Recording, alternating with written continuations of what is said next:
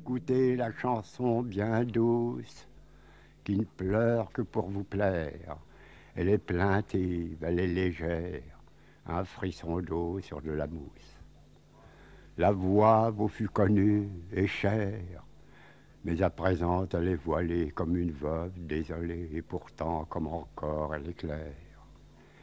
Et dans les longs plis de son voile qui palpite aux brises d'automne, cache et montre au cœur qui s'étonne la vérité comme une étoile.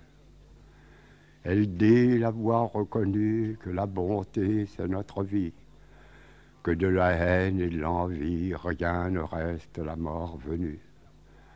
Elle parle aussi de la gloire d'être simple, sans plus attendre, et de noces d'or, et du tendre bonheur d'une paix sans victoire. Accueillez la voix qui persiste dans son naïf épithalame. Allez, rien n'est meilleur à l'âme que de faire une âme moins triste. Elle est en peine et de passage, la voix qui pleure sans colère.